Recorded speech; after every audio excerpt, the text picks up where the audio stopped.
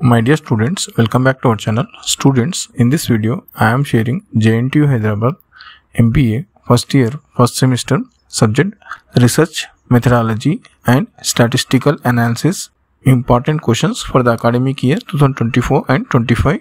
Students, on screen you may see each unit short and long questions one by one.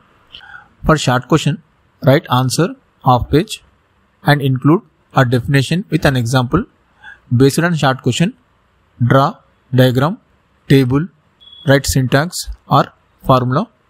For long question, write 3 to 4 sides of pages and include definition, explanation with an example. Based on long question, draw diagram, tables and program with output.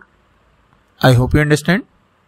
For other subject important questions, links are available in description as well as in the comment section. So check out once. I think it will be useful to you. All the best students for your upcoming exams. Next, students, I am doing hard work for your success and spending my time to create videos, but I am not getting enough views. So support this channel by paying your desired amount by scanning this QR code.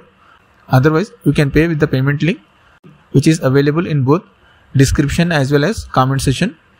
Thank you. Students, you know, this channel provides genuine, official academic updates, various courses, syllabus, important questions, model question papers, previous question papers, and so on. So, do subscribe to this channel. Thank you for watching. Like and share this video with your friends.